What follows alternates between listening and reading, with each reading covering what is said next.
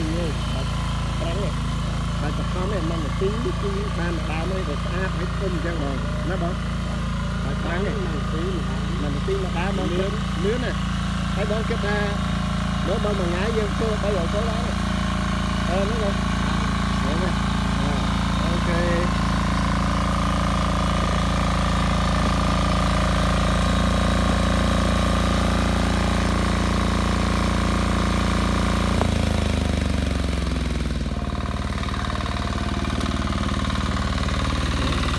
Yep. អានេះស្ថានចិត្តដីយើងត្រូវពេលជ្រោយហើយនេះក៏យើងទូគល់ហើយបាទបងប្អូនណាឃើញហ្នឹងគឺល្អបែបនេះណាយើងធ្វើអញ្ចឹងបាទអូខេអញ្ចឹងអឺនេះគណៈសមត្ថភាពដែលយើងធ្វើដោយលក្ខណៈងាយងាយស្រួលស្រួលធ្វើឲ្យបំផុសដីដាក់ជីសម្រាប់ស្មៅ យើងអាចដាក់ជីមកគឺរុក្ខជាតិរបស់យើងដែលបោះឬស្បែកឬរយើងនៅចុងសញ្ញាមេឃនេះ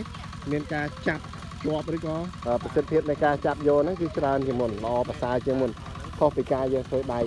បែបនេះតិចខ្ញុំបង្ហាញនៃការធ្វើដៃប្រហែលជាតិចតួចខុសគ្នាឆ្ងាយហើយបងប្អូនប្រជាណាទាំងអស់គ្នាតើប្រសិទ្ធភាពនៃការធ្វើបែបនេះតើខុសគ្នាបែបណាបាទខាងនេះ អឺបងប្អូនសូមមើលយើងធ្វើដៃនេះកំពេញនៅត្រូវធ្វើដោយដៃអឺបាទនេះទៅធ្វើដោយដៃបាទអញ្ចឹងវាមានលក្ខណៈខុសគ្នាឆ្ងាយណាអឺបើធៀបធៀបទៅនឹងពីរបីដើមនៅខាងនោះដែលយើងធ្វើដោយម៉ាស៊ីនអញ្ចឹងដោយសារវាមានលក្ខណៈពិសេសបែបនេះស្រួលការងារពុកម៉ែបងប្អូនដែលជាម្ចាស់ការហើយនឹងប្រសិទ្ធភាពរបស់វាកើនទ្វេដងច្រើនដងអាច